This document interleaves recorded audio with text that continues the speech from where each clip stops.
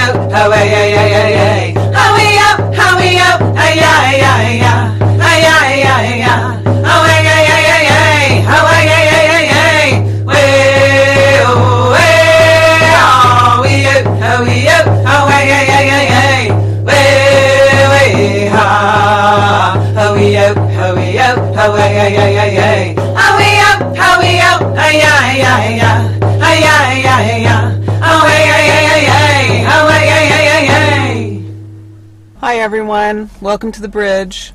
I'm your host, Kira Young, and you've reached me on Revolution Radio, simulcasting on Real Liberty Media. Thank you, everyone, for joining me tonight. I have a great guest. If you like the show and you like the station, you're welcome to support us. This is a listener supported station, so keep that in mind. Everyone's welcome, and everyone has something to offer. Let me see if my friend is available to talk to me.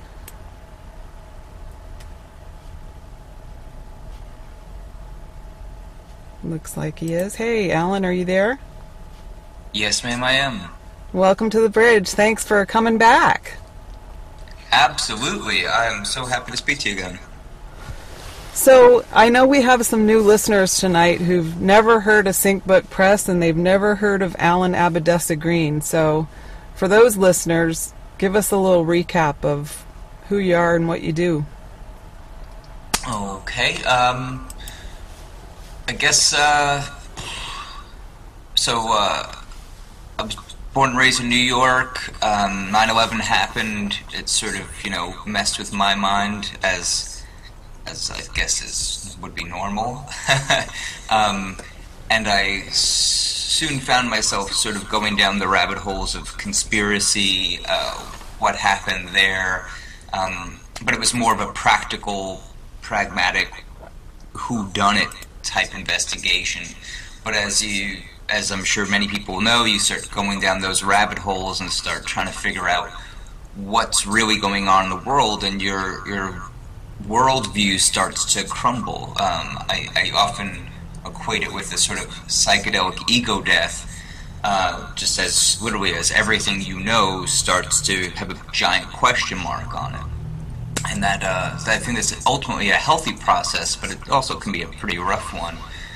Um, but I would say after a few years of being really heavy into the sort of left-brained, uh, pragmatic approach to it, weird coincidences, uh, I started to notice a, a number of synchronicities. Uh, we're going to use that word a lot tonight. Synchronicity essentially just can be summarized as a meaningful coincidence. And I started to notice a, a number of synchronicities around 9 11 uh, and other um, sort of major nodes in the conspiracy vein. And there were a lot of things where, again, that question mark, that big question mark, started to.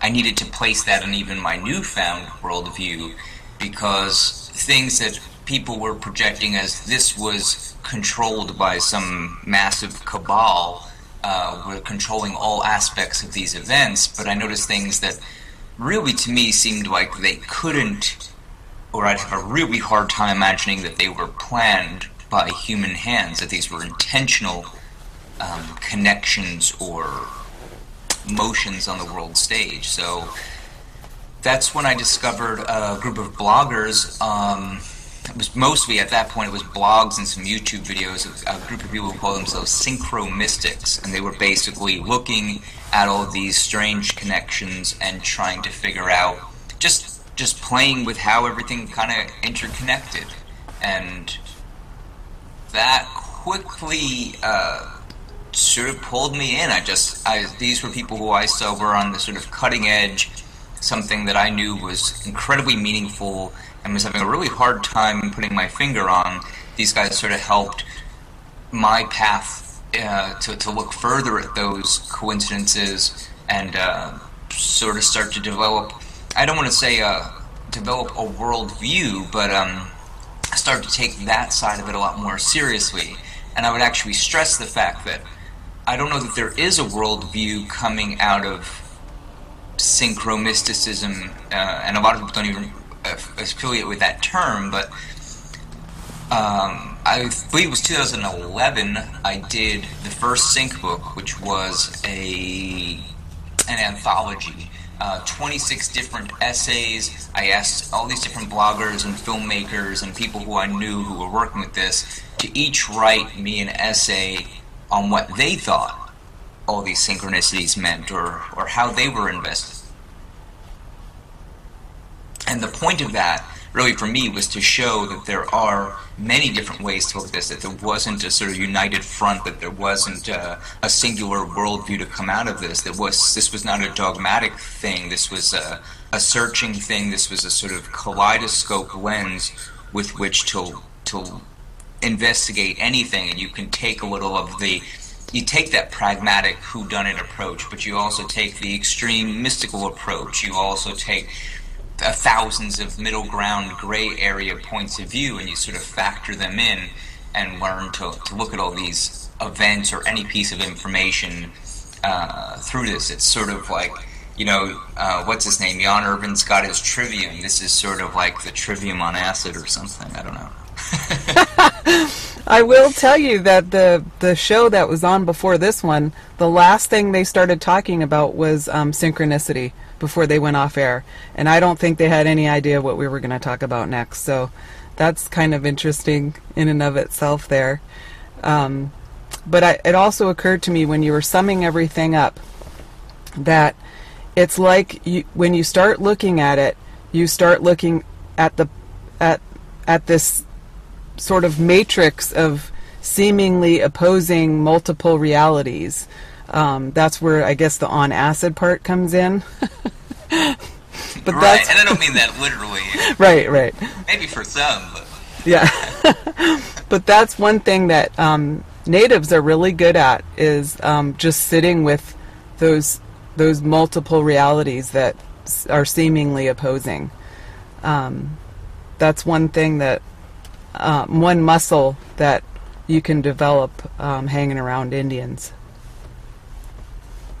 Well, I'm glad to hear you say that because, um, you know, particularly as you and I have discussed previously, um, the distinction between, say, respecting various cultures versus a sort of, even in a quote unquote positive way, stereotyping or turning uh, other cultures into tropes. Um, uh, I have a I have a friend, a black guy, who he he points out this idea of what he calls the mystical Negro. That in fiction you always have, or and not so much anymore, but there, there used to be. It's always white main characters, and then they stumble across some person who's going to show them the mystical path, and it's either it could be a Native American person. It could be um, some old black Creole woman, you know, the Oracle from the Matrix, or uh, a voodoo lady. And what, what was that? Uh, Garden of Good and Evil, or you know, something like that. Or, or it's going to be some old Chinese kung fu master. You know, basically that he saw this as an insulting uh, trope for for the you know non-white sort of hey you're included but as still being othered and I've um, sort of struggled with that sometimes because in a way it's almost how do you say like I can see in one respect that it's almost in a really bizarre and adolescent way paying respect to these cultures as if they hold some sort of knowledge that modern Western white culture doesn't have. Um, and at the same time, I can also see how it could be uh, insulting to be sort of reduced down to that. So it's just anyway, it's something I struggle with that that sort of dichotomy there. And uh, but as you say, it's holding multiple realities in your head, and I can sort of understand these different takes, these different viewpoints. It's not um, it's not an Orwellian two plus two equals four. It's just sort of learning to be a little bit comfortable with paradox. Yeah, right. Which is it, it's not allowed in the overarching culture. It's uh, um, you're either one thing or you're the other. You're forced into these different camps by um, you know, and, and, and some of that's engineered and some of that's just the way the the way that our brains sort of fall back on things. Um, just through training. Um, but yeah, it's not allowed. And uh, so that's maybe why um, the the sync community sort of exists on the margins in, in, in some ways. Oh yeah, I don't expect to have any you know, at least in, in the short term, I don't expect to have any major breakthrough. Um, and we actually had uh, this October something really interesting happened. We had uh, so oh yeah, he said we have new new listeners, so let's sort of explain real quick what a sync video is. Uh, there's a number of different ways to do it, but basically it would be a, a video uh, different from your standard people have probably seen a million videos on YouTube. It's usually like an expose, right? You know, we're going to show you how the Bilderberg group took down World Trade Center 7 or, you know, something like like that, um, where you're, you're, you're pointing out a culprit. Uh, or you might have these other more vlog type points where you'd have uh, some alternative media figure telling you this is what I think of this situation, or let me in on, you know, let me show you what this is. A sync video, and again, even there are multiple styles to them, are, again, more ex- exploratory and uh, I would actually argue a lot more artistic. Uh, some of them are really just there for artistic value with no direct statement attached to them. Uh, just sort of laying out some of these connections for someone to figure out.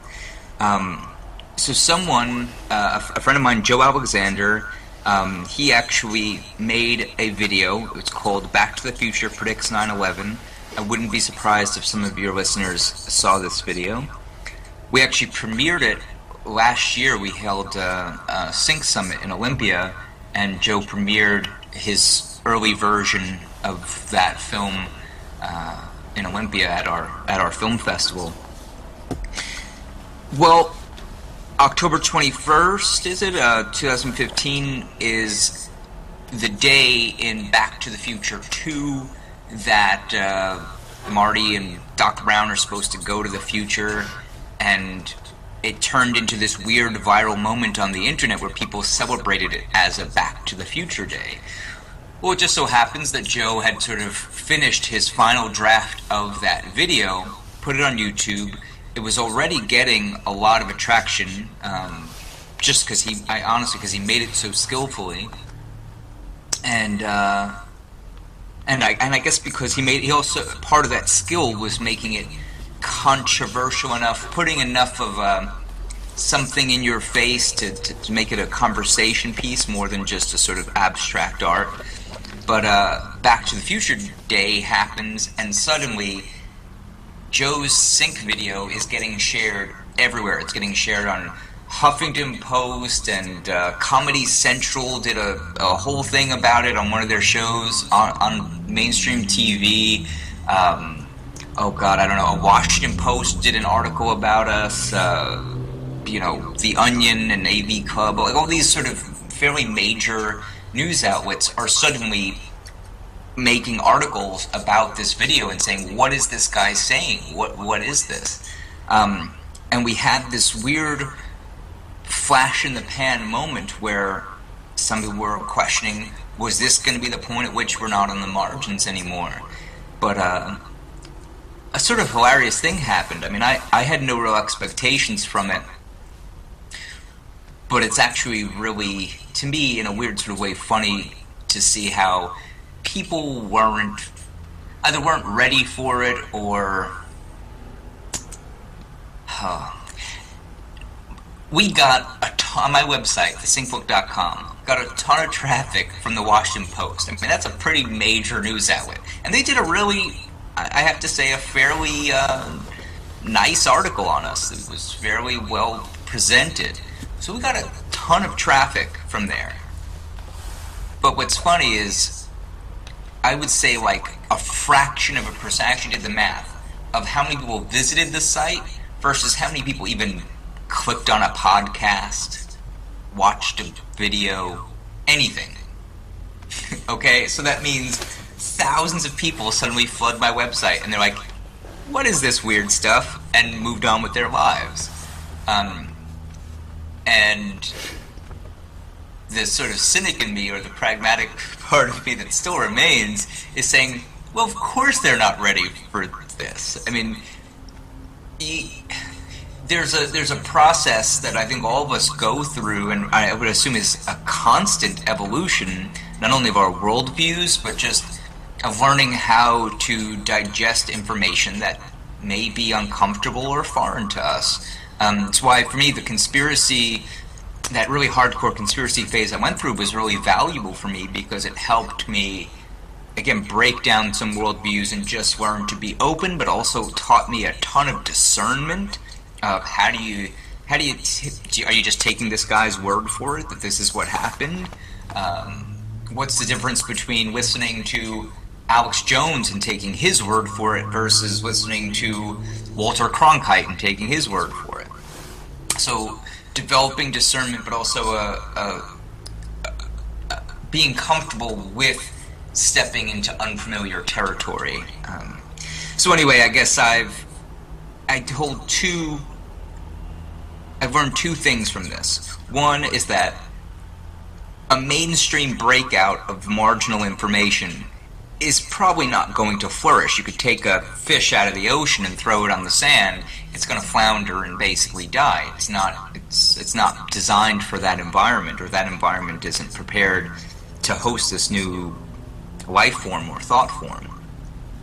But I also there's a small part of me that holds out a small amount of I don't know if hope is the word, but uh, I know my experience again, I, even though I had already sort of gone, started, at least started down this path, I realized that I had seen a few sync videos about nine months before I really got into this study. And when I first saw them, I was like, okay, that was weird, that was interesting, I don't really know what to make of that, and moved on with my life. And it was about about nine months later, which is interesting as a human gestation period, but it was about nine months later that I somehow stumbled upon, I think it might have been the same video or a, or a video made by the same person, and I was like, suddenly something clicked in my brain that I had developed enough, that I'd been exposed to enough, that suddenly that made sense to me. And I said, oh, now I get what they're doing. And it was just like a light bulb went off in my head. Now I get what they're doing. Like where what seemed like gibberish nine months ago now makes total sense. So there's a part of me that wonders if, okay, you get, I mean, Joe's video of, I mean, we're, t- it's in the millions now. Um, millions of people saw this video. What happens nine months from now? I don't expect millions of people to suddenly be interested in synchronicity, but, you know, I think uh, you plant a seed and you see what sort of happens. There's there's a small part again. I, it's not like I have a an expectation or a hope of some specific outcome, but I even though the cynic in me is like, well, of course, the the readers of the Washington Post are not going to be interested in our bizarre explorations of the universe. At the same time, I I think there's uh, probably a, some really interesting outcome that I'm never going to really be able to witness, or there's no tangible outcome of that. Um, and yet, I feel like that, that undoubtedly had an effect on, the, on the psyche of, of many people. Absolutely, and, and in a way, it was kind of like being in an alternate universe for a day, you know, where where sync is all the rage, and then we go back to the regular world that we actually live in, where where it's like, who, what, what are you talking about? Sync, I don't know. Um, but yeah, that's that was a really weird phenomenon. And as you were describing um, your process, I think I would would say I would had a similar process with learning about sync book and the sync community and it just gradually sort of started sinking in it's still sinking in for me actually i don't understand it all but hey um, uh, it's it's interesting to me um, very because I, I don't have the whole history so that's that's part of it too is when you start watching these videos you, you're not getting all the backstories that led to that because it, it's a really deep um, rabbit hole, I guess you you could say. Um, so a lot of the videos, it's like you had to watch other videos to really get as deep into it as you can, if that makes any sense. Sure. I mean, um, that's you know, I'm, I'm not going to argue with your experience. So I, am all I can really say is, you know, that's that's a good, I don't know, note or observation for me to be aware of. Um, you know, and, and let's also point out here, I'm not the sort of grand architect of who's making what videos. So right, right. Um, again, I, want to sort of stress here, this is a decentralized, um, non-dogmatic. It's it's a group of people who are exploring a similar subject, but each coming at it from their own perspective and their own history. Um, I have no. Uh, I don't, I don't, and I don't mean that to distance myself from that comment, but to say, yeah, I think what you're what you're sort of witnessing is that uh, fragmented nature of it, which from one perspective is probably a bad thing in that it'll keep it somewhat on the fringe if it makes it a little harder to be accessible.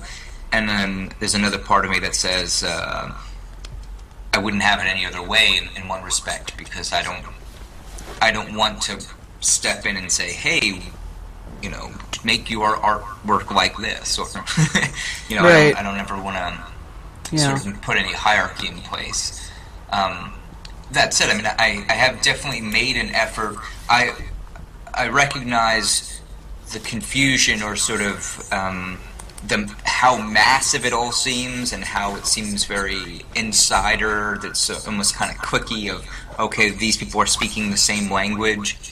Uh, one of the reasons I did that sync book, probably one of the prime reasons I did it, was to make this more accessible. I said, oh, I saw what it took for me to get into it, and how much sort of s- study and development I had to do to kind of figure out not only what was I being presented with or what were people trying to convey, but, but what to make of it, etc. And I would say that's still a development. You say it's still sinking in. I mean, I've been at this for a long time, and I've uh,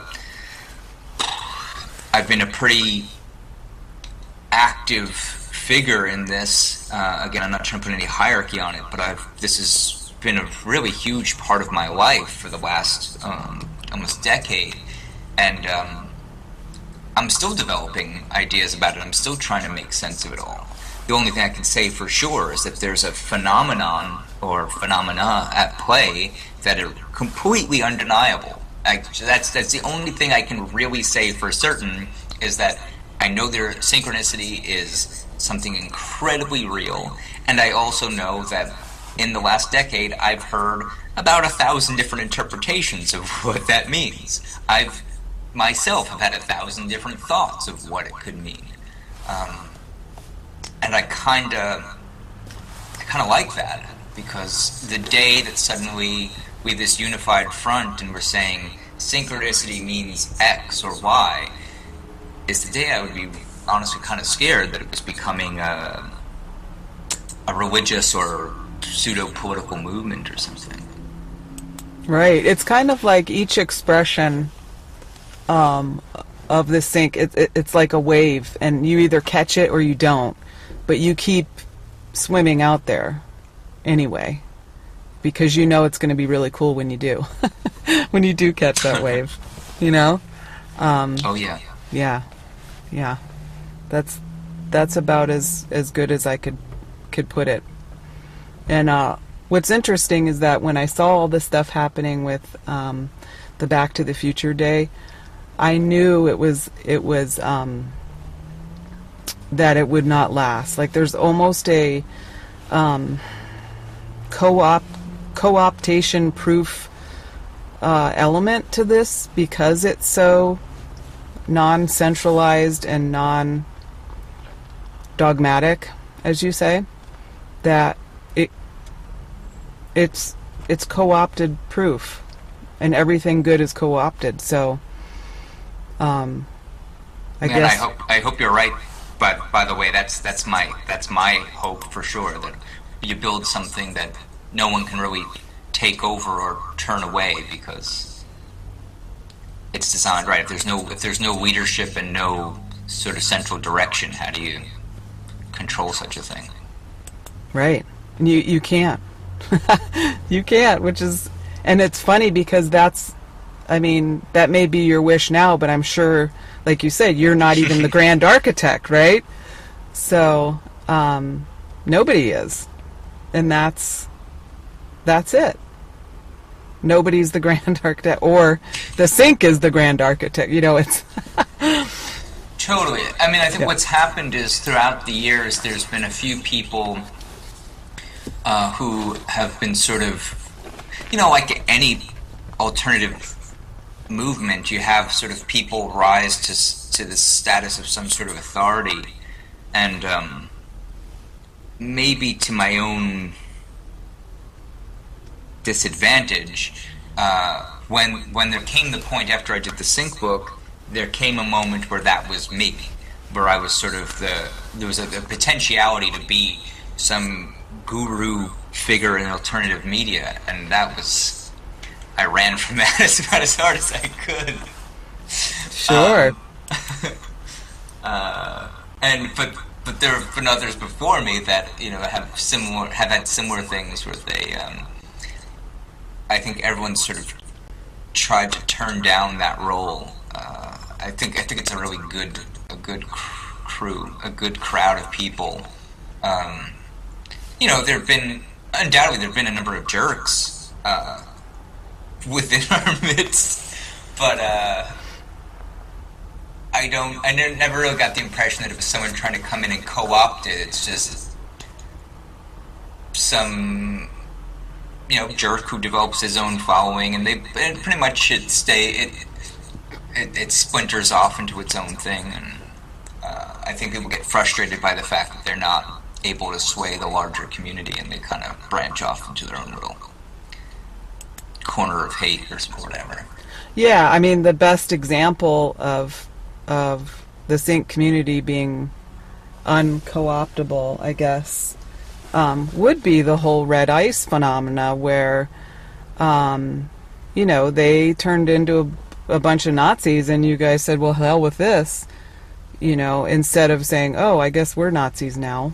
I mean, which is essentially how the co opting happens. And I'm sure there was probably some grand architect going on there um, in that. Um, whole situation where because it's come up again with this whole you know white genocide crap. And um, the sync people are, are definitely rejecting it completely. They're not buying it. They're not into it. And again like you said it just sort of splinters off into its own kind of thing. Yeah we had um so i guess i mean this is maybe uh I don't know. If, I don't know if you guys have any chat group or, or anything on this call, or if uh, if we've got sort of go too far too fast, just let me know. But yeah, if you want to jump in there, I mean, uh, I'll give you some of the history. Is maybe let's start there. So there was uh, one of the main blogs was this blog called the Sinkhole with a W. All right, and um, so we have this one figure, Jake Kotze, who made these basically the way Joe Alexander had his success with his Back to the Future videos. Jake had a similar amount of success, I mean, relatively, um, with some of his early videos, but it was they were more conspiratorially targeted. He was again still trying to figure out what it all meant. So he's saying, "Hey, I'm studying this conspiracy, and I noticed these symbols." I mean, you see a ton of it now of people saying, "Look at these symbols. They mean Freemasonry. They mean the Illuminati, etc." Right?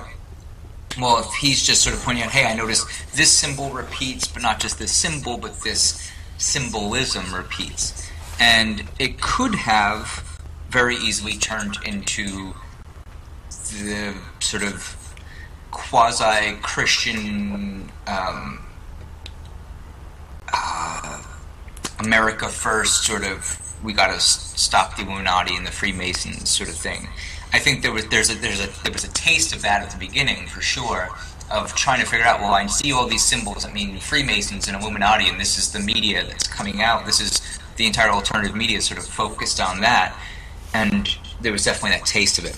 Anyway, so he had this sort of crossover appeal where he's appealing to the conspiracy people, saying, "Yeah, look at all this stuff. It's Freemasons. It's whatever." But also taking it a step further and going, but now it's getting really weird. And what what does this mean? You know, okay, so we saw all that, but what does this imply?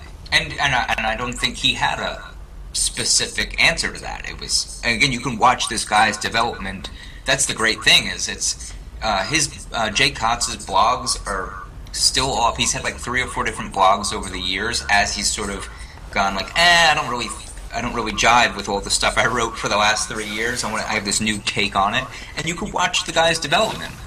Uh, same, same with his videos, um, and uh, so there's this sort of history. So, so you have guys like Jake Kotze, Goro Adachi, Steve Wilner.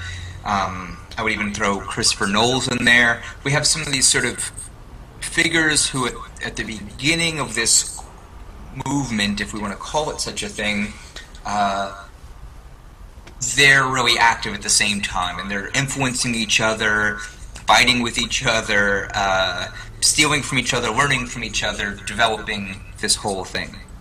And then as that list starts to grow and some some more people start to be interested and contribute and make their own blogs, then you have this thing that was called the sinkhole. It was a group blog where uh, multiple people could write under the same blog name. So you have multiple contributors. Someone would start an article and someone else jumps in and finishes it. Uh, and like any great collaborative moment, it crumbles and has, there's infighting and all that sort of stuff, and you have people break off. And they had little moments like that within there. Um, I don't know the exact history, but I want to say guys like, oh, like the Celtic Rebel. Do you know who that is? No, I don't. Oh, oh, you'd have, you'd have a field day with him. But um, uh, how about do you know who Kyle Hunt is? Oh, absolutely. Yeah, he's he's a big Nazi now, huh? Oh yeah, oh yeah. Yeah. So these guys were, for lack of a better term, sort of, you know, on the ground in the development of of all of this.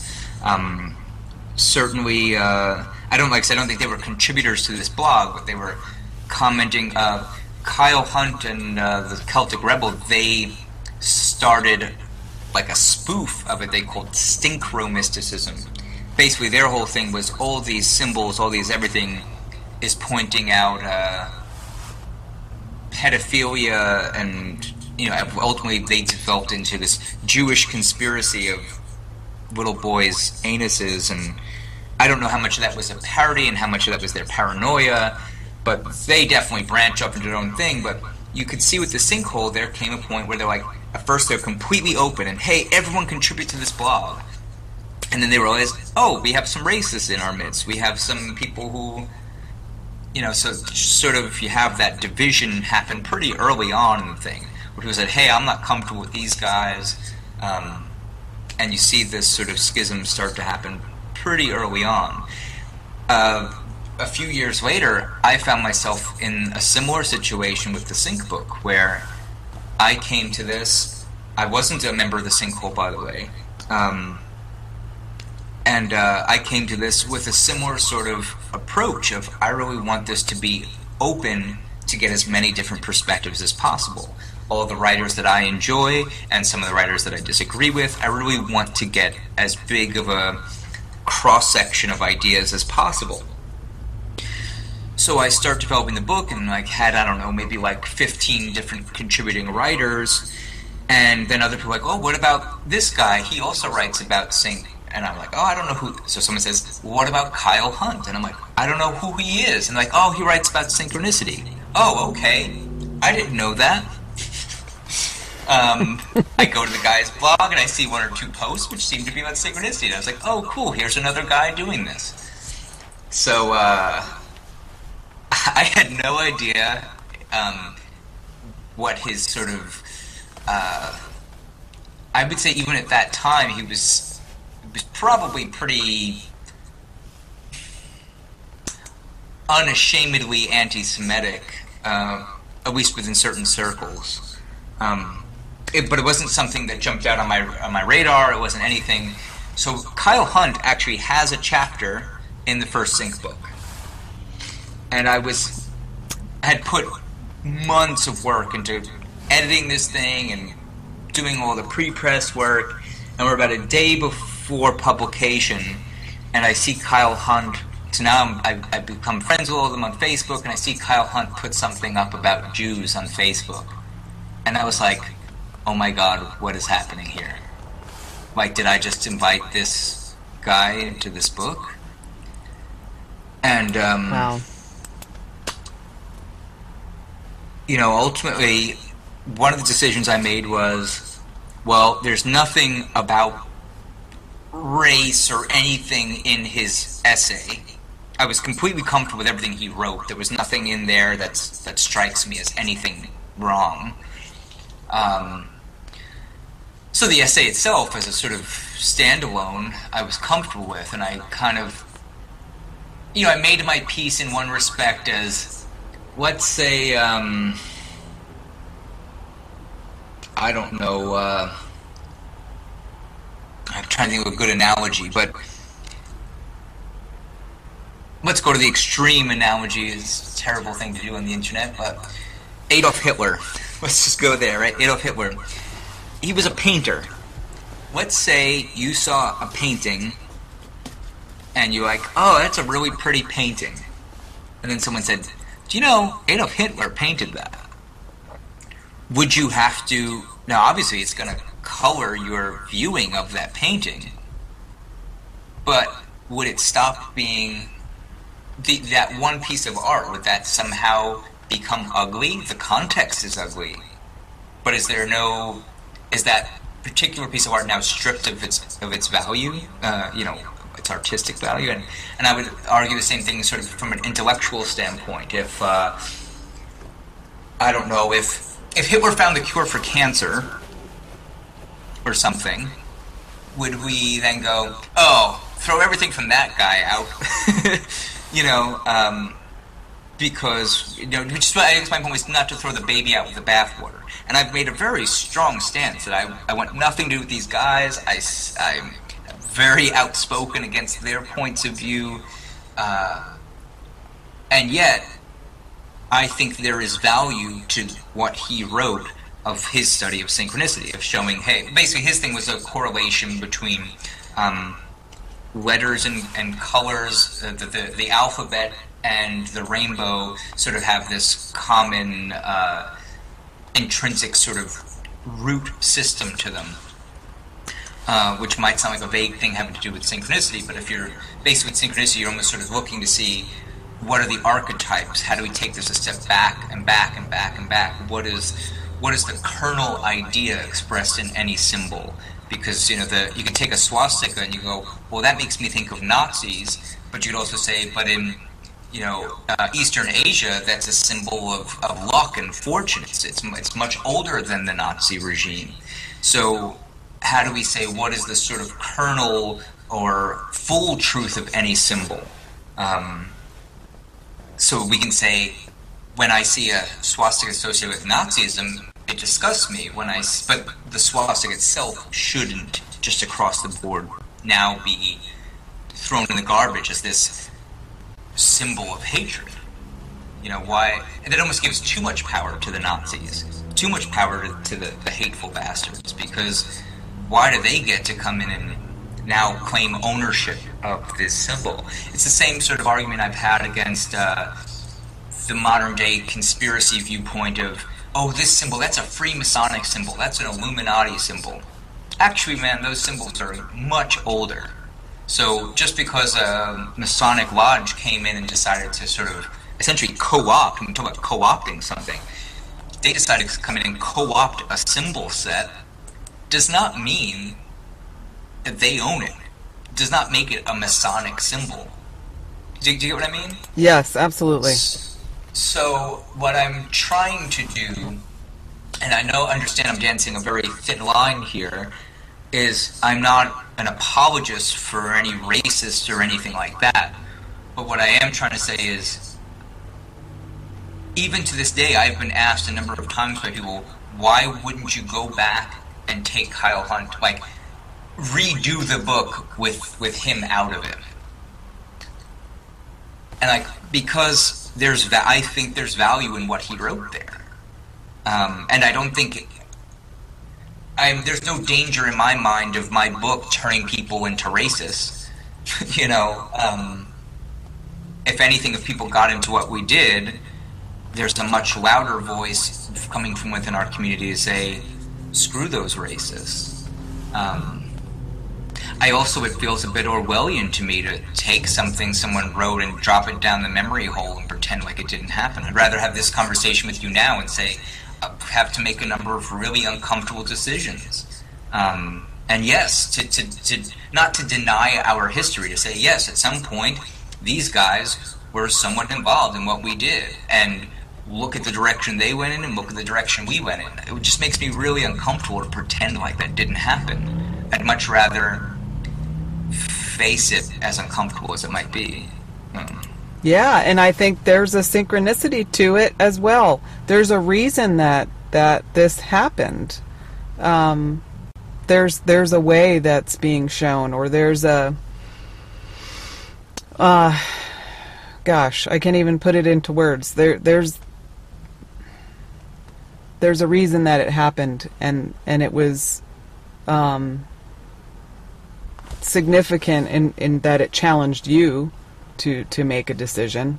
And I think either way you went, you're gonna get some friction, right? Either way. but um, Totally, yeah. it's something that keeps happening again. This whole Nazi thing, this racism thing, is something that keeps rearing its ugly head over and over and over. Um, so what is that? You know, um, I think we're going to continue to learn more about it. Um, do you get what I'm saying? Oh, totally. Yeah. Uh, so I mean, yeah, I mean, I, I agree. I mean, for, just in my experience, it happened again. And you mentioned the red ice thing. I mean, that was for me, or the sort of, as far as my measuring the sort of occurrence of this within the sync movement, that was sort of the third wave of us having to face that. Um, Right. And uh, let me tell you something. So Red Ice, I'd mentioned this guy Jake Kotze, uh, Steve Wilner, those sorts of guys. When if you look at Red Ice and you go back to their earliest episodes, so they have their full archive is up on the site. I challenge anyone to go back to the first year or so of Red Ice. There's right, you can still pull them up. I mean, Jake, who's the most peaceful, uh, pacifist, I mean, not in any way affiliated with these these Nazis. He was on that show as like a regular guest every few weeks. He was like Red Ice essentially. You know, if you want to say a conspiracy, sure you could say Red Ice put him on the map, but um, you could also argue the other way around. You know, so this was like a regular contributing guest. Um, Red Ice in its startup was very interested in the sync movement. And then at some point, the sync movement moves off into it becomes something else. It becomes more of an artistic or um, it, it, it, sort of starts to separate from that conspiracy overlap. And Red Ice obviously went more into the conspiracy side and lost some of its mystical overlap. Um, but to say the Red Ice thing, to me, is it's undeniably connected to the history of synchro mysticism, because, as I said, this was something that was regularly promoted. This was this was a major outlet, if we if we, if we had such a thing, um, for for sync in, in its earliest days. So to see how these two sort of things have gone off in almost opposite polarized directions is it's not only an archetypal story, but it's it's still interesting to live with and to wrestle with the history of this.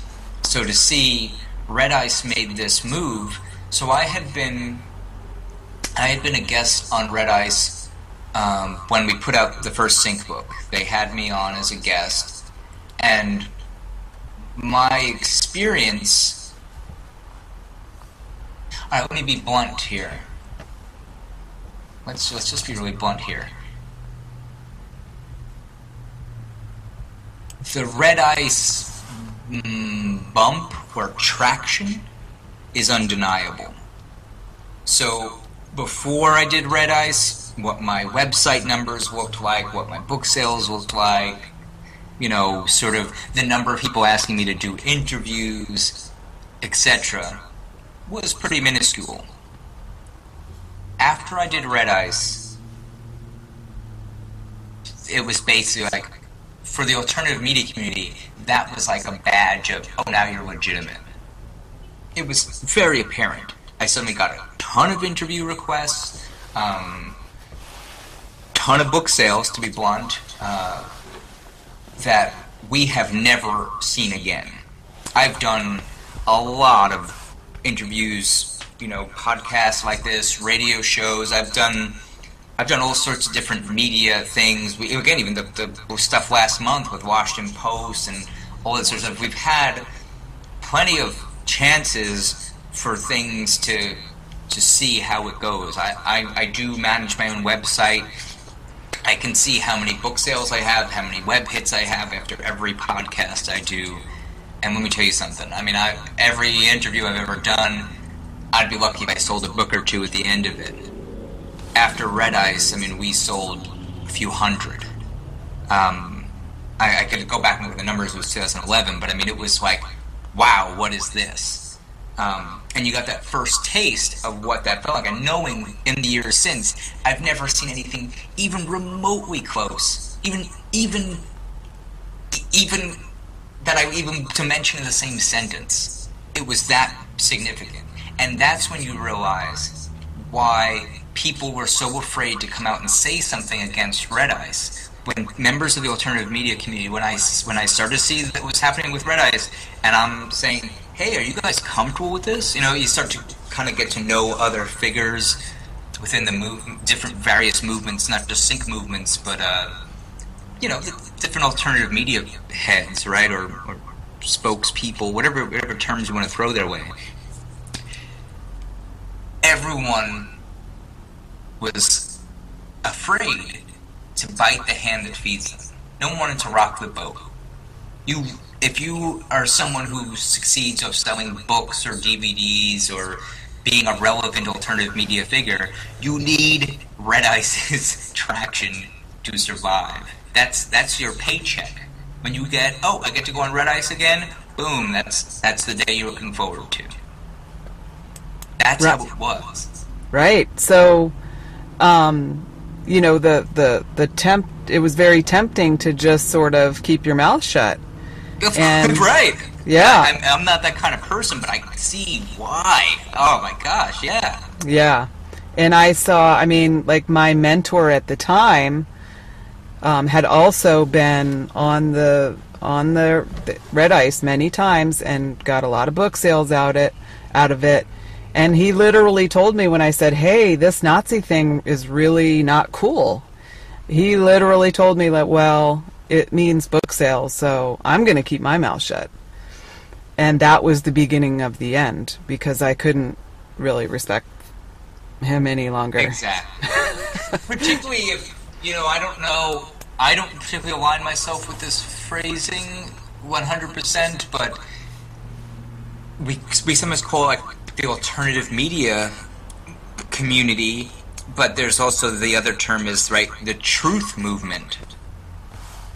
Right? So how does the truth movement become so disinterested in truth? Um, is what's scary to me. And of course, what you get, I get that same thing thrown back at me when I said, "Hey, I think your sudden your sudden interest in, you know, sucking Hitler's teat." Um, I could say that on. on Yeah, you can. right? right? I tried to think of a way I could say that. Uh, uh, or you know, saying white genocide, and when I say, "Hey, that's pretty disgusting. That's pretty racist," they're like, "Oh, you're just denying the truth. You can't handle the truth. That they're they're trying to kill all the white people." I'm like, "No, No, they're not. it's Right. not happening. You're not- imagining not it. Yeah. Sorry." Nope.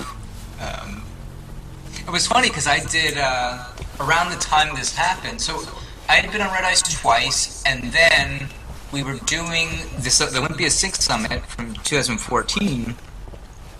Um, I had reached out to Red Ice to ask them. They had at that time, I don't know if they still do, but they had like uh, upcoming events that they would like kind of just had a small section on the right side of their their website that was like, hey, you know, there's this conference on I don't know, you know, the secret space program and this conference on megaliths or you know whatever, right? All the different people that they've had as guests on their shows. What different events are they doing? And I said, hey, is there any way you guys could put up a, a Olympia Sync Summit thing just to help get the word out? And they did. They were really nice about it. And then we had they started this conversation where um, where I was living at the time and where they had just moved to was not all that far apart. And they were, you know, basically invited me, hey, do you want to come and spend the weekend with us? And it was a completely friendly thing. I mean, I'm not going to lie, it was, uh, you know, I had a great admiration for them at the time, and um, I felt really, really happy about the whole thing. You know, oh, you're developing this relationship with these people who I admire. Um, obviously, there's the secondary, you know, or at what level is it secondary or primary sort of driving motivation of, hey, these people help me sell books, but um, I can't, I can't deny that there was probably about an equal thing of just really, I was a fan of theirs. Uh, I'm not gonna, I, I can't hide that fact. I was a big fan of what they did. Um, so uh, I leave on this road trip before the Olympia Summit. My wife and I went for about a two-month road trip, uh, maybe two and a half months. I don't know, we were gone forever. But before we got to Olympia, we just left and just drove around and were visiting tons of people and making our way crisscross across the country. We went up to Canada, visited Jake, and we went all over the place, right? And uh, at that point, I'm basically unplugged from the internet. I have no idea what's going on. And then I get to Denver, uh, at my friend Will Morgan's house. He's got a, uh, co-hosts of 42 Minutes. And I get to his house, and he's like, "Man, have you seen what's going on with Red Ice?" And I'm like, "No, I have no idea." and that's when people start to tell me what's going on, and as I start to investigate it and just look at their website and look at their Facebook page, and it amazes me to this day. I still have people. In the last two weeks, somebody tagged me on Facebook. They were upset that I would say anything bad about Red Ice. And they're like, it's so intellectually dishonest to call them racist. And I'm like, have you seen? If you, they have, they don't hide it. They don't hide it. Okay, we're going to take a little break. Um, we'll be back in a few minutes. Well, hey, I, oh, well, hey, oh, well, hey, oh, hey, oh, hey, oh, hey, oh, hey, oh, hey, oh, hey, oh, hey, oh, hey, oh, hey, oh, hey, oh, hey, oh, hey, oh, well, hey, oh, well, hey, I, oh, hey, oh, hey, oh, hey, oh, well, hey,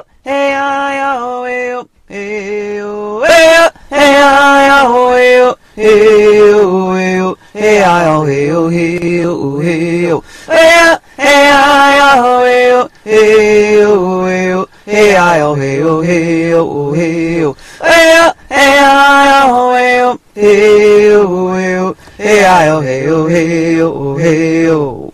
And we're back. This is The Bridge with Kira. I'm Kira Young, and tonight I'm talking to Alan Abbadessa Green from the Sync Book Press. You back with us? I am here, yes, indeed. So before the break, uh, we were in the middle of the conversation about this whole red ice Nazi phenomena that's been rearing its ugly head um, in the sort of in the sync world, ov- sort of over and over. There's been several waves of it, so we're kind of getting to the the latest wave here of it coming up again. Yeah, and I guess what's scary to me is, you know, there's a number of factors there. So I try not to. I'm try. I really try not to have like um, like a. Okay, it's not for me. It's not a personal beef with somebody in the, in the respect of. There are plenty of people I've had personal arguments with, and I wouldn't take to the airwaves to say I don't like this person, or you know, or me and this person are fighting. For me, this is a purely ideological shift that they've taken. That, again, within the context of knowing that they're a powerhouse in, in one respect. I don't. They have a tremendous amount of influence, is what makes it scary. You know, if it was my, um, you know, some crazy guy down at the bar, you know, saying something, you can kind of go, ah, that drunk idiot or whatever. Like, this is a group of people that have tremendous listenership, uh, influence, as we said, the, the sort of stranglehold over other speakers and their followers. If, if the guy you were speaking of before didn't want to rock the red ice boat because he was afraid to lose book sales, well, then basically you've muzzled or perhaps even converted all of that person's followers, right? So it's like this, it's this sort of octopus um, pyramidal. It's it's a, it's a hierarchy. It's the very thing that they would, in their olden days, would be arguing against. That you'd have this these hierarchies of power and uh, compartmentalization and influence and. Uh, you know, all, all, just all the elements are at play of, uh, you know, the Star Wars rebels becoming the Empire, right? You know, it's like uh, we see this again and again. I mean, that, that, to me, that's why I sort of one of the reasons why I think it is an archetypal story. But again, in a very pragmatic sense, it worries me because if you can, if you can convince people, hey, you know, Hitler wasn't that bad a guy. Hey, the Earth is flat. I mean, all these of things. What, what can you convince people of? I don't. Know. It's like, are we at the point where I we all thought like a Donald Trump as president was a joke, and now we're sort of like not laughing anymore? Of oh my gosh, could this actually happen? Um, Right. Right. And that that's the that's another kind of sinky thing is that you know what got you into this this whole thing in the first place was looking around New York and seeing the fascism that was awakening um, after 9/11 and then here you are again seeing the fascism um, not only in your own sync community um, rear its ugly head, but but on the larger political scene, you know, Trump really represents another Hitler to a lot of people, and with, and with good reason. Yeah, um, I think it's it's basically it's a it's a anger is powerful and it's a useful tool. What I've wondered about red ice, and I think probably people could. I'm, I'm sure people are wondering about Donald Trump. I'm not even so sure these people actually. Like, how do I say this? I'm not even sure they are racist. They could just be manipulative. Do, do you know what I mean? Like, um, Sure. you see how easy it is to play we you know we saw after 9-11 how easy it is to play off people's fears and you could say oh that kind of brown skinned guy over there who speaks funny he could be a terrorist you know? You're playing off the fear of the unknown. Um, it's again it's you're, you're othering someone. That person over there is the enemy. That person over there is strange and foreign and and people are in a lot of ways rightfully angry. Uh, they feel disempowered. And if you are a Red Ice or a Donald Trump, you're always, hey, I can use that. I just come in and I say, I'm with you guys. And we have a common enemy. And suddenly we're all buddies and pals, and you'll listen to anything I say and you'll throw your support behind me. I mean, it's it seems pretty elementary. Um, I I think noticing how sharply Red Ice turned. Uh, I mentioned this on another podcast, but I'm um, this was a while back. But uh, I don't know if you're interested, if this is interesting to you. But I appeared on Red Ice twice. The first time, I told you the numbers were significant. I mean, a really, really major boost. The second time was notably less. Now, that could be my performance, for lack of a better term. It could be, you know, the topics that were expressed weren't as, you know, it could be a number of factors. It's not to say, oh, their listenership was waning. I don't know that as a fact. I'm just, so again, this is the only sort of, I don't know, firsthand experience or evidence that I have is to say I noticed the distinction between the first time I was on red ice to the second time, which was only about a year and a half, but it was noticeably less. And it was only about a year and a half after that that they took a really sharp turn towards this white supremacist viewpoint. The, the white genocide, the Hitler's Hitler's go right with me sort of stance. Um, Yeah, that is that is interesting. It's uh, it's kind of mysterious um, because a lot of people base their their experience on wh- what is the experience of the social media, their social media outlets, so chat rooms, Facebook pages, things like that, and um, my experience getting on there is is that it's filled with a bunch of racist, um, hateful people that and you know if you say the wrong thing that they don't like they are just on top of you. Um, calling you all kinds of names and anti-white and everything. And i've mentioned this before too but my my experience of going on there when i when they put out something about the when the redskins trademark got pulled. And it was this piece about well look here the, this is government sanctioned uh, censorship and um, you know it's PC gone too far, that sort of thing. And I went on there and I said, "Re- you, "This is really not very well researched, because this isn't the result of the government coming out and saying we're going to take your trademark away.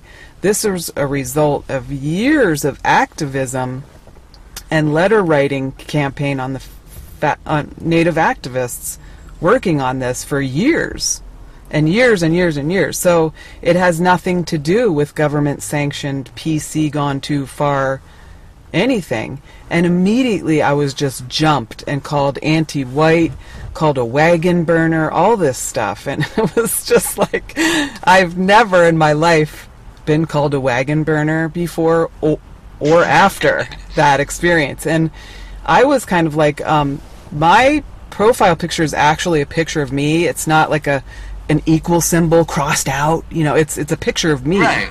and I'm pretty pale. So, uh, yeah, it, it was just, and it's the same rhetoric over and over. It's not it's not well thought out responses. It's it's the same thing. Like so, any any time somebody goes in there and says something that's like, "Hey, this is you know this is off the mark here, and this is why," is going to get attacked in the same exact way.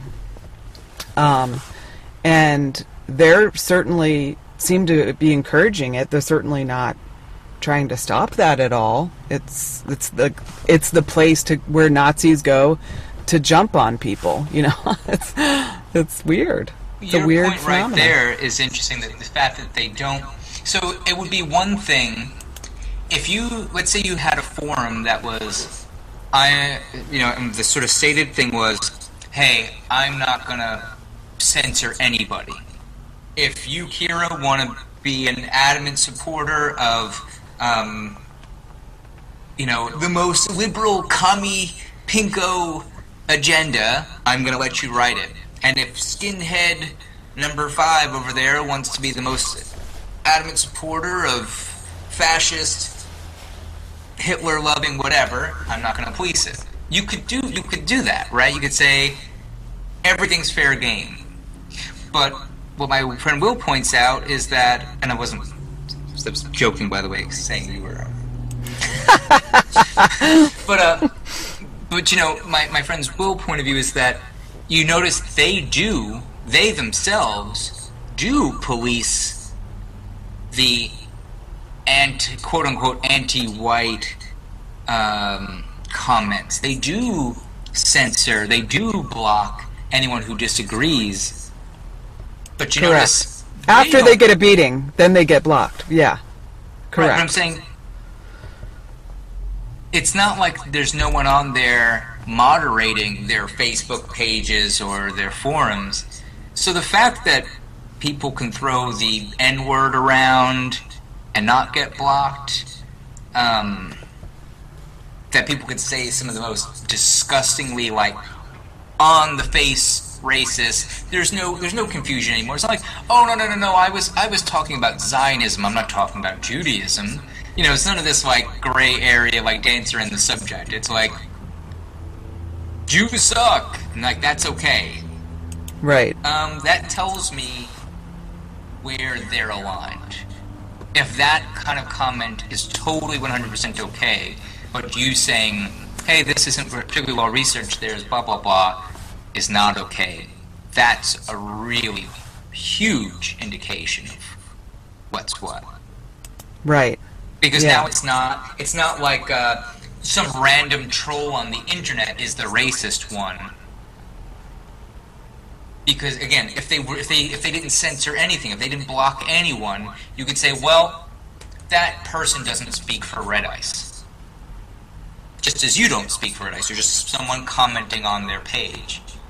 But if you get blocked and that person doesn't, I think it's really clear. Um, and Yeah. plus, I mean, like, Lana's got a Twitter account that I didn't realize. Um, I don't really run the Twitter for SyncBook. Doug does, and I guess we're still like following. So I get these emails. I get it's like it's like every few days I get this reminder of how bad it is. I get an email saying popular in your Twitter network, right? And it's almost always it's like Henrik tweeted or Red Ice tweeted or Lana tweeted, and I'm like, wait, this is popular in my network who are these people following me if they like what these people are writing? Why are we connected on, you know? But if you know, Yep. Twitter's telling me this is popular amongst my common group of people on Twitter, which scares me. It scares me. Why is this popular? Why, you know, they had a picture.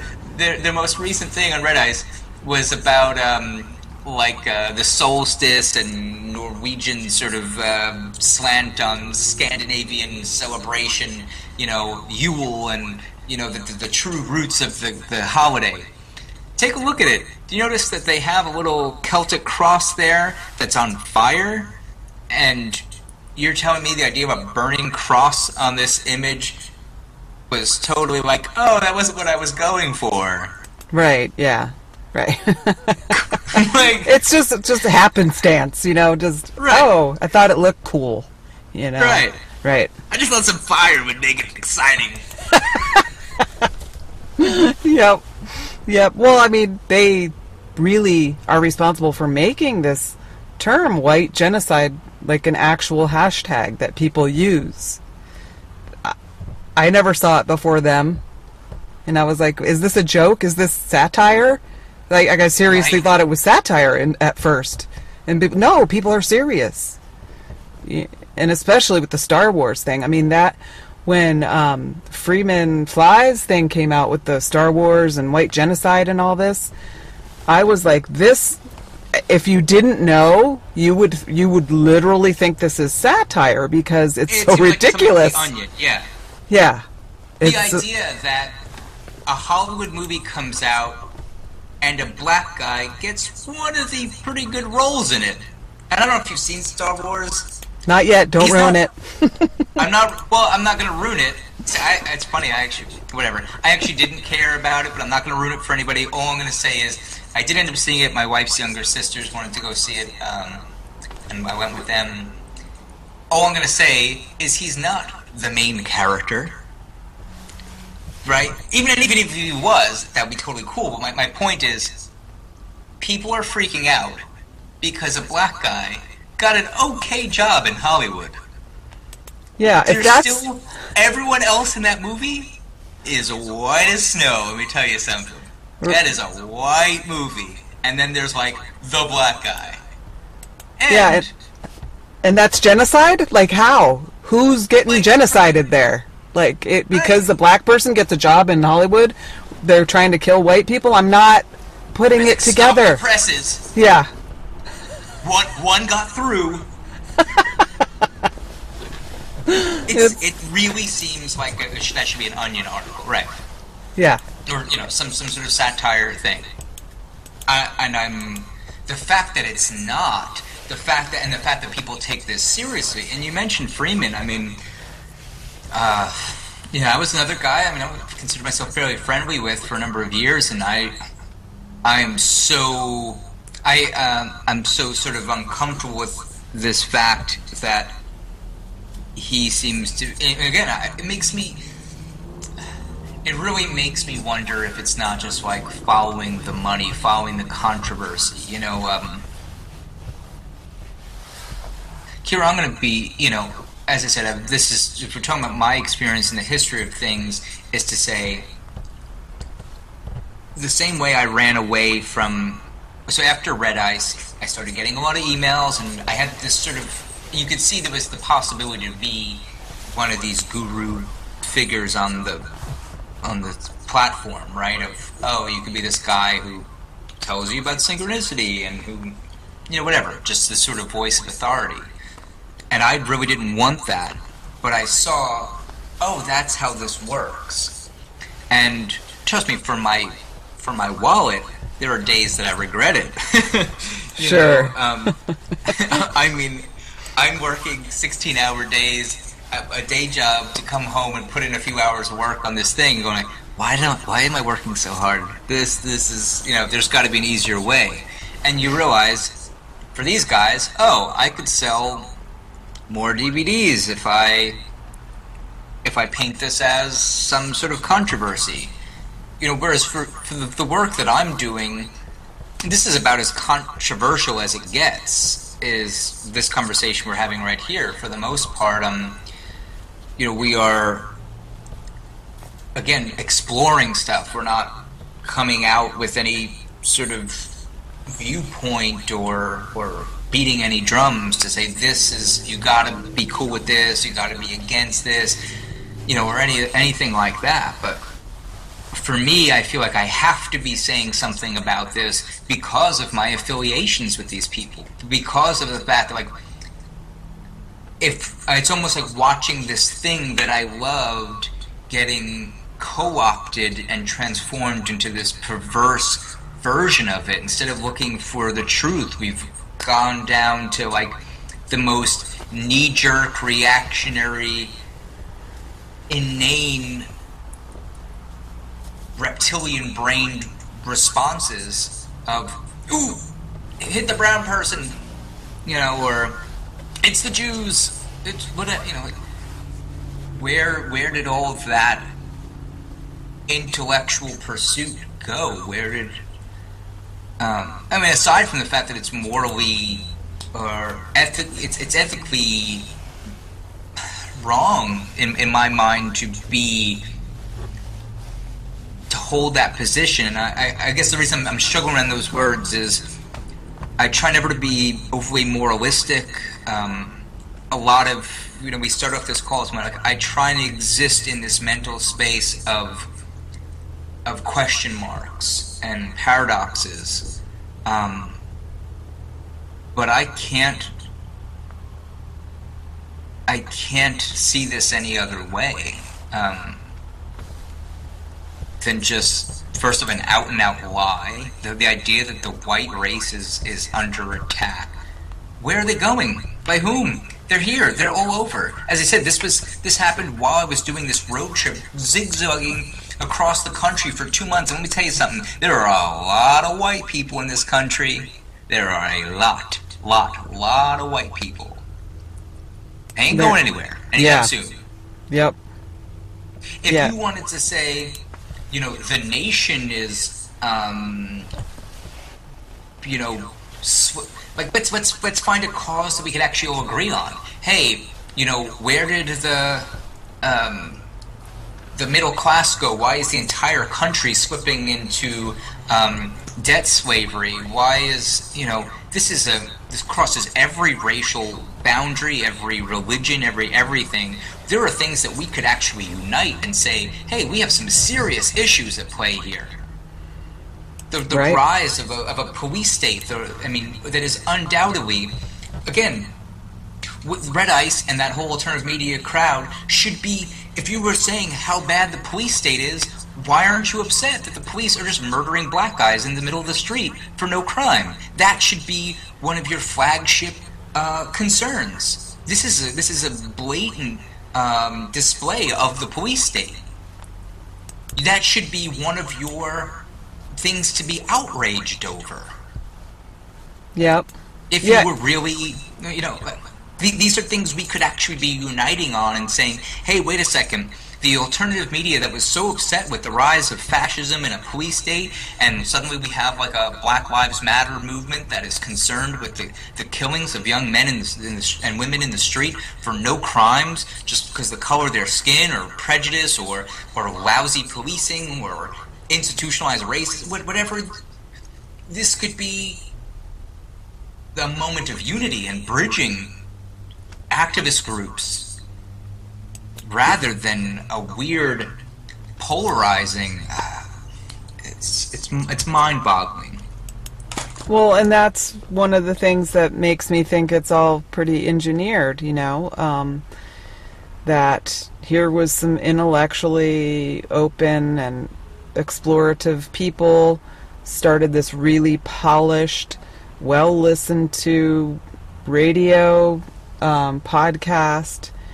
Um, and what happened was it, and that's the big question. I think was this the plan from the beginning, or did it happen?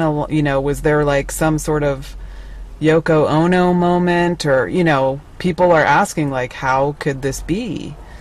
Um, so, and we may not know the answer, but I think it speaks certainly to um, the character of a lot of people in the community that said, no, no, mm-mm, I'm not going there. No, uh-uh.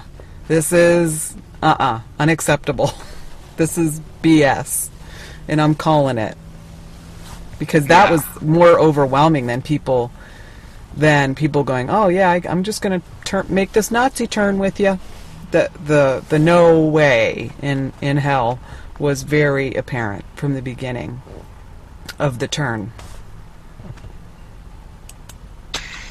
Yeah, and um, it seems you know they were okay with that. I mean, they they they blocked a ton of people on Facebook and just went their way and got their new audience or whatever it might be, and and certainly brought enough of the old audience with them to say.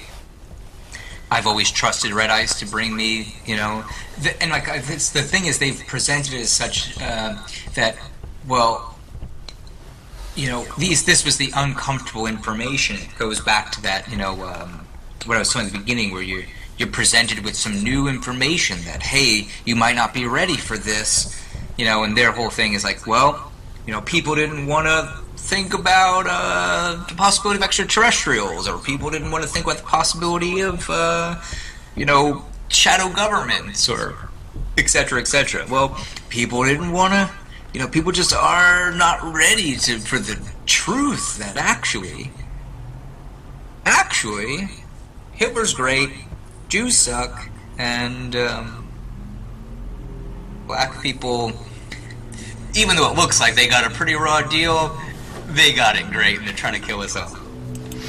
Right. Let let's totally disconnect from reality and and sell it as truth. And that's so it, do you think it's a cult? Well, it certainly oper- operates as one. It, it, has the advantage of operating as one for sure. Uh, the fact that you can't can't question it, and that, uh, as I said, I, I was sort of saying they the, the power that they have, and I, and I to a certain extent um, speak from experience of having said like I really respected them. I mean, I don't know if you remember, I did a. Um, Oh, I don't remember when this was, but uh, so it's shortly after returning from Olympia. So it was probably like September 2014, something like that. I did this. Um, Andros and I did a, a, a synchronized sort of finale, uh, and in there I did an open letter to Red Ice. Which was fantastic, yeah. Well, well thank you, but I Yeah. mean that was. Um, I never heard anything back from it. They just blocked me on Facebook, and that was the end of that. No, no response. But I, assume they heard it because I was suddenly blocked on their Facebook accounts. Um, Well, it was actually, you know, that podcast that attracted me to you and on Andros. I mean, that's really, you know, a pivotal moment where I said, okay, here's some people with integrity who, and because I knew that people were choosing to remain silent so that the the book sales continued for them. So I was like, okay, these people are speaking their conscience, and I recognized it as such, and I recognized it as that it would be detrimental um, in terms of your income as well. Well, I guess in one respect, the blessing here is that the income was never that much. easy come, easy go. Right. I mean, I said, except for you know, so um, we put out the first sync book. We did Red Ice. Let me tell you something. Like I said, we I told you we sold a ton of books after that first Red Ice, and then I just watched the book sales slowly drift off, and you know, I've been we've been basically making chump change ever since. Um, in one respect, that probably made it easier. Um, but again, like I could see as I said, like the the sort of it's almost like a pyramid scheme. Asked, is like a cult? So again, I did Red Ice. I had the opportunity to suddenly then take this position of authority. Um, as I said, the the, the the the requests for interviews were incredible, um, and the way in which you know I would get invited onto a podcast and they'd say here comes Alan an expert on blah blah blah. And I'm like am I an expert on this? Like am I? I don't know. I don't think I would call myself that you know? And it just the whole thing made me uncomfortable where I was like I feel like I'm still figuring this out. I don't want to be an expert. I want to be if anything you know uh, one of the things I wanted to do with the sync book was to say, look at all, what all these other people have done. Maybe combined, maybe if you take 50 people and put them together, maybe we have enough expertise. But I don't. Uh, there's no one person in particular that I would say has all the answers. You know. Uh, so it made so like I was trying to wrestle with this idea of well I need to be a spokesperson for these people and I want to I do want to sell the book not just for for the money but to get the whole point of doing it was to make it accessible and get the word out and all these sorts of things. But I quickly realized I don't want to be the guru. I don't mind I didn't mind really being the spokesperson saying hey check out the work of Will Morgan check out the work of Andros Jones check out the work of Jake Kotze you know check out Goro Adachi. I don't mind being that guy but I didn't want to be the guru that has the answers. I had you know people emailing me saying, you know, tell me the secret of blah blah blah. You know, like I I don't have that secret. I don't I don't know. like you know, Right. like, I, I, you're just saying that. Like no, I'm just a guy who's who's looking at some really interesting information. I might have a perspective or some information that you don't have, but undoubtedly you have some that I don't have. Like let's talk. Let's talk. Let's figure out where we overlap, where we agree, where we disagree. What can you share with me? What can I share with you? And let's make something of that. Let's take this experience together. Um, again, it's not a way to sell books. It's not a way to sell much. Um, I realized that I'm a terrible businessman. this is this is a terrible business model. Um, you know, we were. Uh, you know, we, we would regularly have, if somebody became interested in our show, we might have them on our podcast, you know, as a guest, just to be like, hey, so what did, what have you seen so far? What are you jiving on? What are you, whatever, you know? It's like, um, then when we started like a like a membership section, it's the question of, um, well, do we have like who are we selling this to? Because if if everyone who's sort of in the community is kind of like in it, how do you sell them themselves? It's like, oh, I guess we're not really.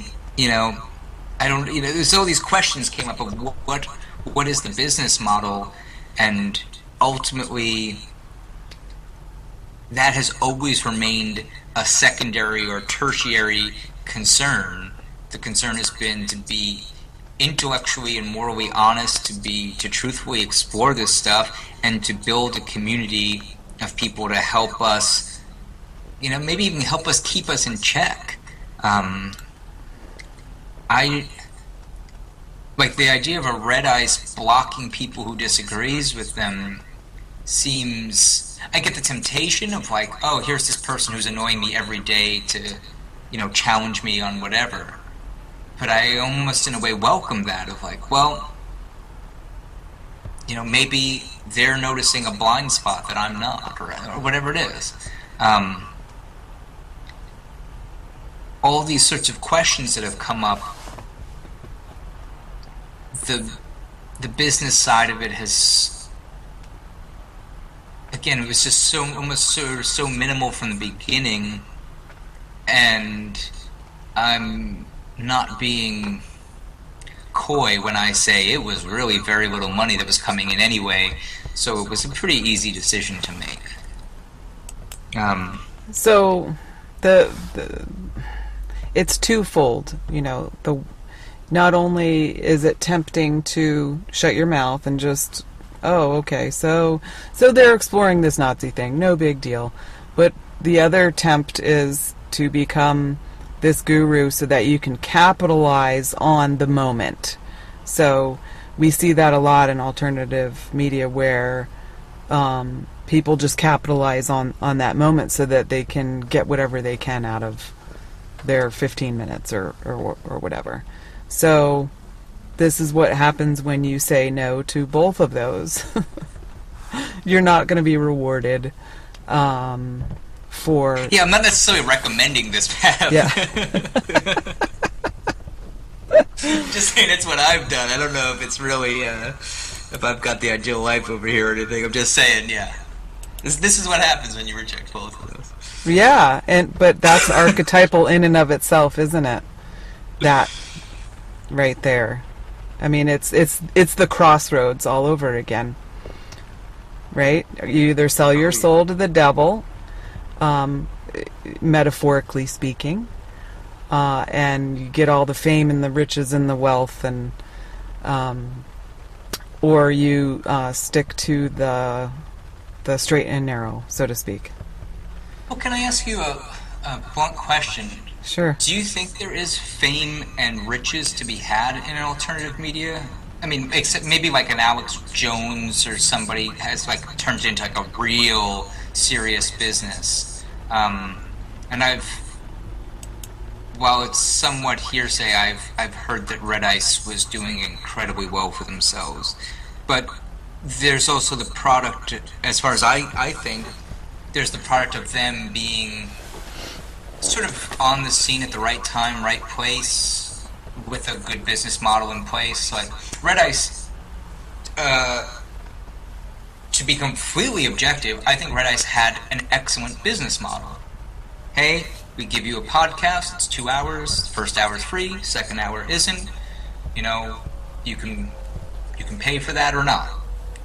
I and I honestly think that's a great business model for a podcast. Um, they Yeah. had that all in place, and they were sort of around at the start of as the internet sort of blossomed and the alternative media blossomed on the internet. I I, I, wonder how much of that is, at least in the start, was a sort of luck of uh, luck partnered with like a really good head on their shoulders. And I mean that completely objectively. Like, I, I take nothing away from them there. They were prudent to have a really good foundation in place, and they obviously worked very hard. So I don't think it's all just luck. But to say, do you think in the last few years, is there anybody who sort of takes the scene and suddenly could have like a ton of money? Where's the money coming from? Are you selling books? Are you selling memberships on a website? Are you selling hits on YouTube? You know, like what do you?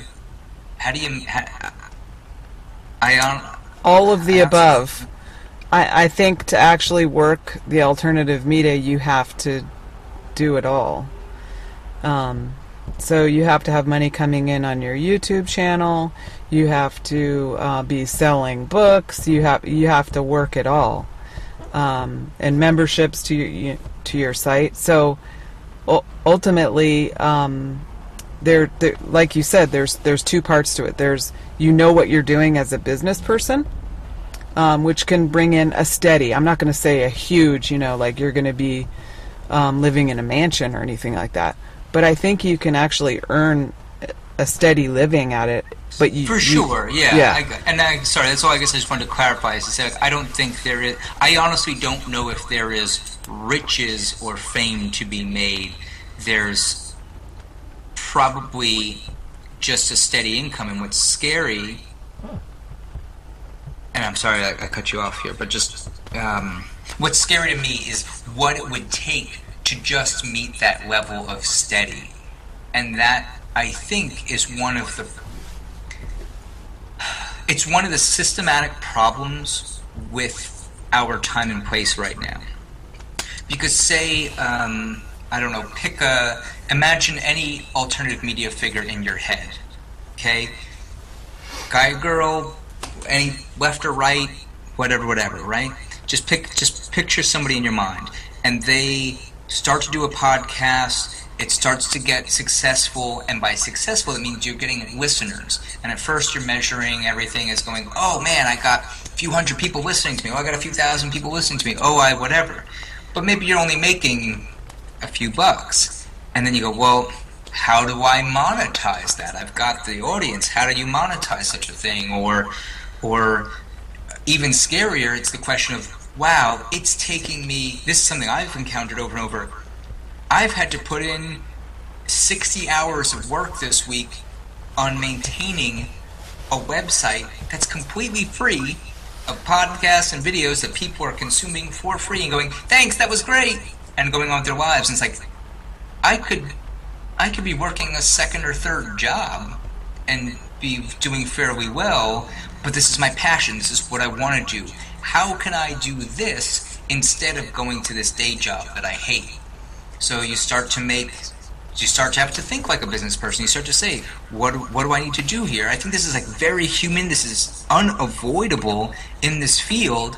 And you say, okay, well maybe I need to, you know, charge for this here. Maybe I need to have a member section. Maybe I need to, whatever. I've, I've had people come to me and say, I want to put a book out. I, I have a we have Sync Book Press. People say, I want to put a book out because if I put a book out, that's a sign of legitimacy. They say, oh, I noticed that people only get um, lecturing gigs at alternative, you know, circuits and presentations and conferences if they've got a book out or it's a book I can sell at the conference or whatever. So I kind of like you see how people's minds start to think differently, and I I sometimes wonder if it's us, and by us I mean me and you who are quasi like figures on that stage, as well as us, the audience, as you and I both are probably enjoy other people's work. I enjoy yours, you might enjoy mine, and probably a few, you know, countless others, right? But people listening to this show right now, I don't mean this is a guilt trip. I mean this is like a real statement of what I think is the problem. We've gotten so used to downloading music. We're not paying for digital content. I can, if I want to hear a song, I can pull up YouTube. I can listen to it. I can download it. I can whatever. I, it's so easy to pirate it or get it for free. If I want to listen to a podcast, I might listen to a podcast on a regular basis and just like, "Hey, that's great," and not give them a dime. At what point do you have to hear somebody say, you know? Uh, I, I told I had people tell me about Vinny Eastwood. They couldn't listen to Vinny Eastwood's show because he asked for donations so much. Why does that guy have to listen to ask for donations so damn much? Right? Why, Right. Why, why, should he, why should he have to? Why aren't we supporting the things we enjoy and the people whose work we respect? And there's almost this scary thing that that tells me we are part of the problem by not supporting the the people when they're honest and that they're resonating with us. We almost force their hand into becoming a little bit slipping out of that honesty and slipping a little more into the business minded calculated decisions well i would i would love to put this podcast out i'd love to put this video out for free but you know it's not really worth my time to put all this effort into it maybe i'll just do it if it's a paid thing or maybe i won't do it at all because i got to go to work tomorrow or whatever it is. We're we're shooting ourselves in the foot by not supporting the very and when I say community here I don't mean like the sync community I mean the, the wider community of alternative media. We say how bad mainstream media is but we're not supporting any alternative at least not financially. People don't you know people have subscriptions to Netflix uh, or whatever but are they throwing money behind their their, their the alternative to Netflix um, and that Yeah. to me is what is an unspoken issue here is that I see the temptation to do something, uh, just even sell your soul a little bit, just a little bit every day, is almost a necessary cost of doing business. And I don't think it's for the big sellout, it's for making rent. Yeah, know? yeah. It well, a bunch of things occurred occurred to me because this is obviously something that I think about, and and you know, I have a day job. I have to work a forty-hour week at a day job to support myself. This is not how I make my living.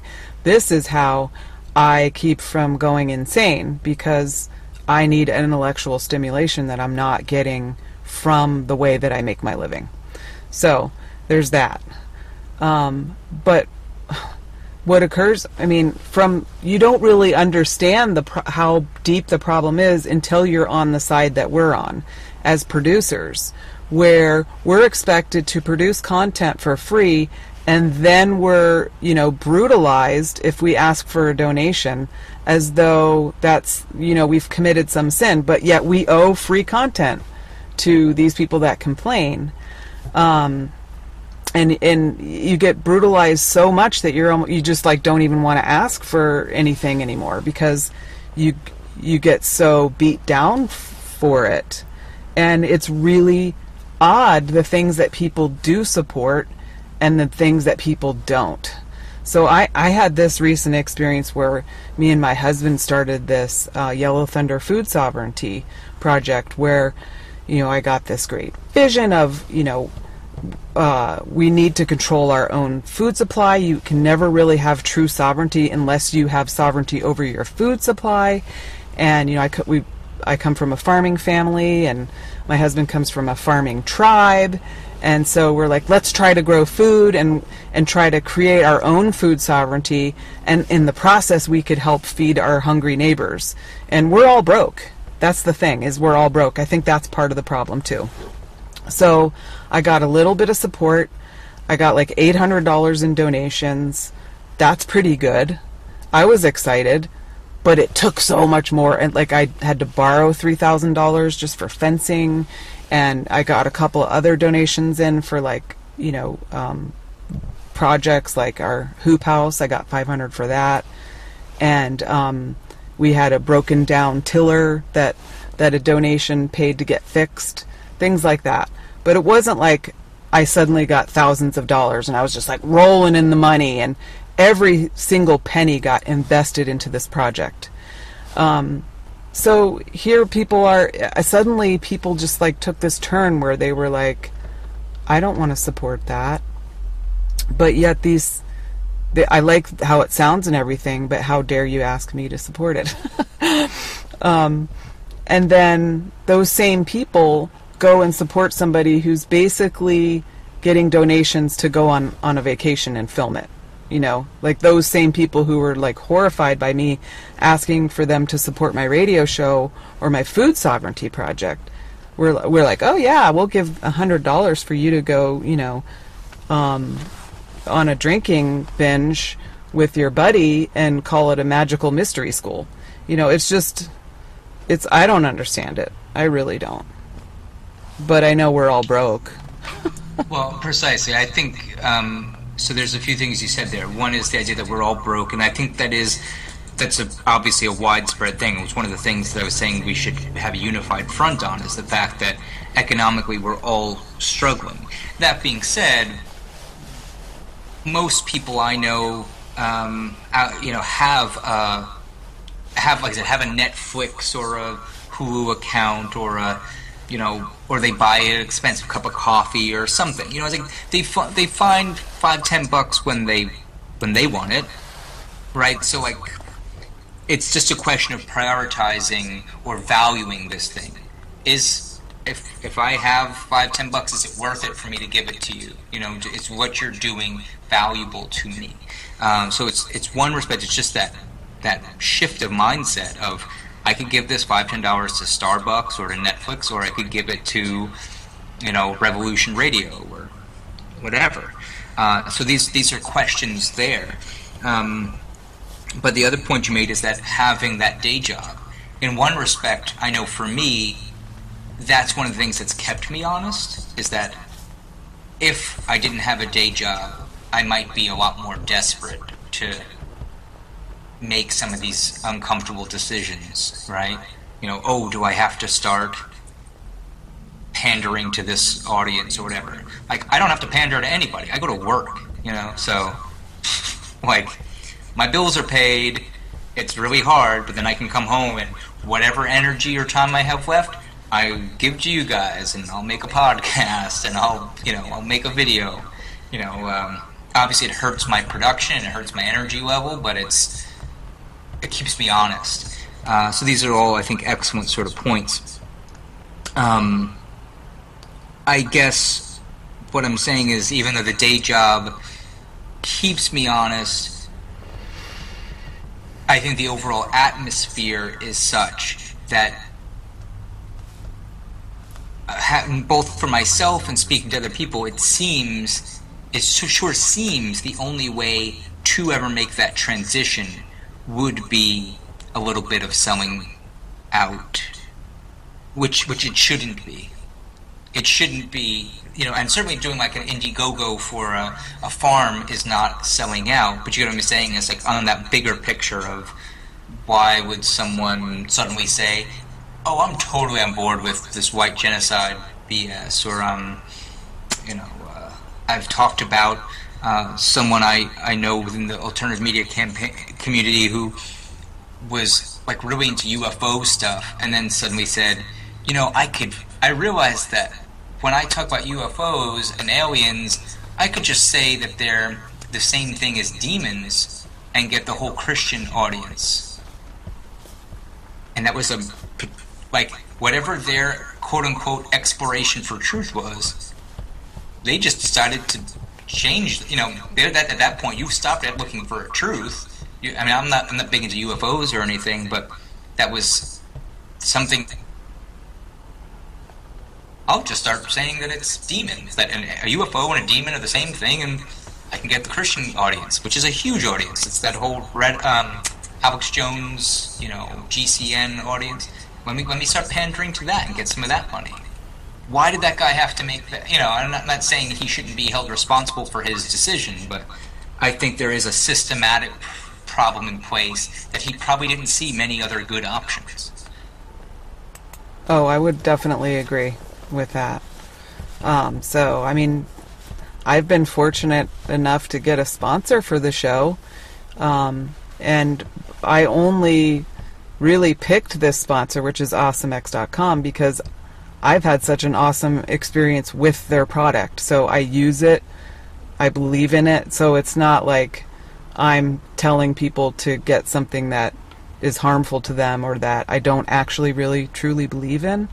So um, each decision is, is something that you, you wrestle with um, for sure. And I don't, I definitely don't have the answers, but I, I figure out um, workarounds, I guess, along the way.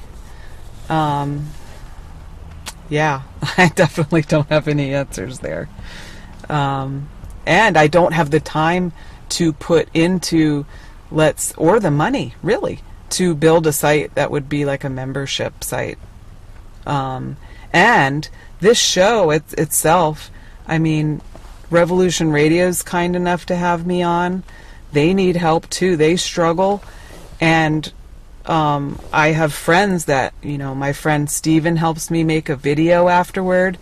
Uh, my friend Anne helps me book guests. So people, there's a community where people see the content that they enjoy and they support it in other ways because we're all broke.